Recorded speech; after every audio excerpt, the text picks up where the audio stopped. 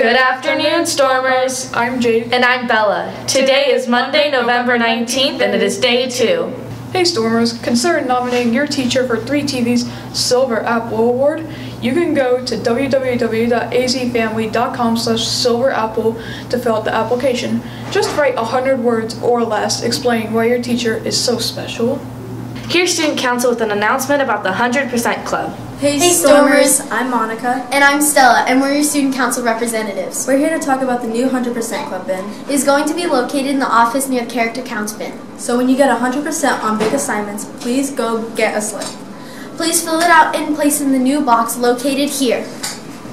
Hey Stormers, are you ready for Mix It Up Day? November 30th is right around the corner. Are you a team player? Are you up for a challenge?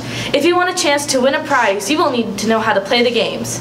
After the announcements, please click on the links in your email for a minute for a minute to win it, it challenges.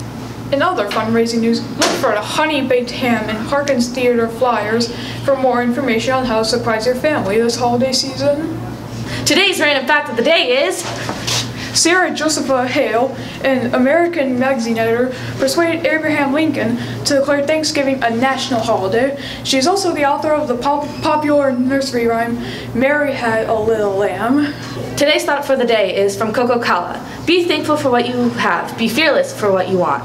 Thanks for watching, Stormers. Please stand for the Pledge of Allegiance followed by a moment of silence.